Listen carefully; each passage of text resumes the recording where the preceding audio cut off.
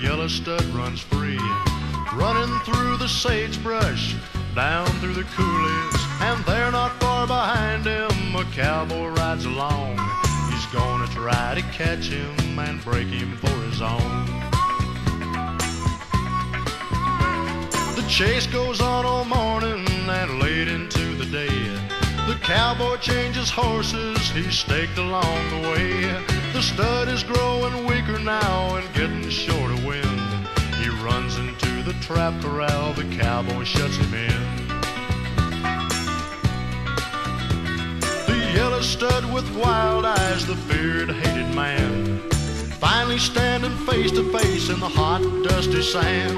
The battle starts and rages on beneath the burning sun. The cowboy tried but couldn't ride this yellow outlaw stud.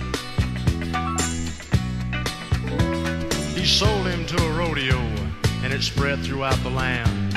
The legend of this yellow stud, the baddest of the bad. Hmm, then one day at Cheyenne, we knew it had to come. The best of all bronc riders, he drew that yellow stud. The wooden gate flew open and the stud he bailed out high. An explosion of yellow horse seemed to fill the sky. The stud kept getting stronger and thrashing stirrup and crashed into the dirt.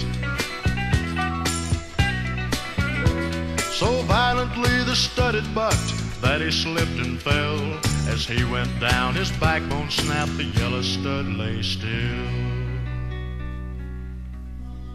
As the cowboys gathered round him, I heard one of them say, There'll never be another bronc like the one that died today.